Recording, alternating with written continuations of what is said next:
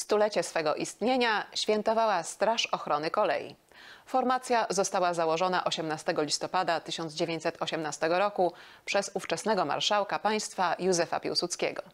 Uroczystościom rocznicowym patronował prezydent Andrzej Duda. Straż Ochrony Kolei jest jedną z najstarszych służb mundurowych w Rzeczypospolitej. Kiedy po 123 latach niewoli Polska odzyskała niepodległość, ówczesny naczelnik państwa Józef Piłsudski dostrzegł szczególną potrzebę zapewnienia bezpieczeństwa w obszarze kolejowym. W tym celu powołał Straż Kolejową, zalążek współcześnie działającej formacji. Bezpieczeństwo nie jest sprawą prywatną. Rozwój kolejnictwa domaga się także bezpieczeństwa i to zorganizowanego i przemyślanego. A ta formacja przez 100 lat dowodzi, że jest y, bardzo dobrze. Mówił podczas dzisiejszych uroczystości w Katedrze Polowej Wojska Polskiego ksiądz biskup Józef Guzdek.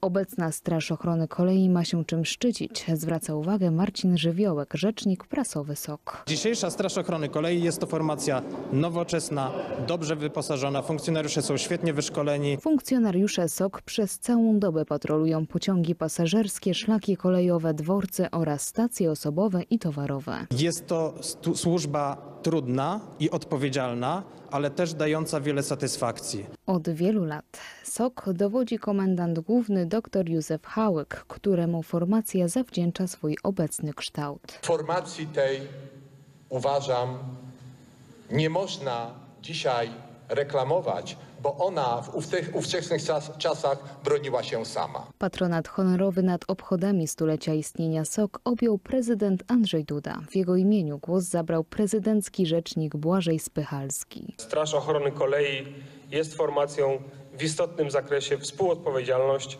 współodpowiedzialną za bezpieczeństwo wewnętrzne naszej ojczyzny. Straż Ochrony Kolei w ostatnich latach znacząco się sprofesjonalizowała. W codziennej służbie funkcjonariusze korzystają z nowoczesnego sprzętu.